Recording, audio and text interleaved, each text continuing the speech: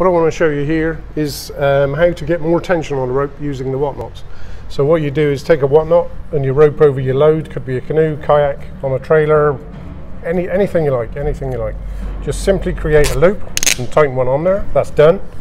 Um, you then put the rope through the What Knot, another What Knot, through there. So that's done. Put the rope through the loop, like so, and then you pull a little bit just to get a bit of length. Put that up a little bit high. Then pull as hard as you like down on here, which creates that tension. You can see how much tension I'm putting on it. And then you simply lock that off in position, and that's locked off. So you've got all that tension in that rope as much as you like. It's then very simple. I mean, if anybody's ever tied just a very simple loop in there and just tied an ordinary knot in there, you'll know that every time you're pulling tension on it, that knot is getting tighter and tighter and tighter and you can't undo it. With the What Knot, you just press the button and twist. Simple twist, undone. Take that off. Simple press the button, twist, undone. It's all apart in seconds, literally seconds. So I'll just show you again. So you create your loop, anywhere you like on the rope.